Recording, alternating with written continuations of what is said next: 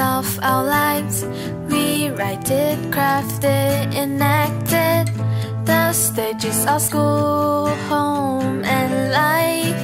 Where we perform the script for it.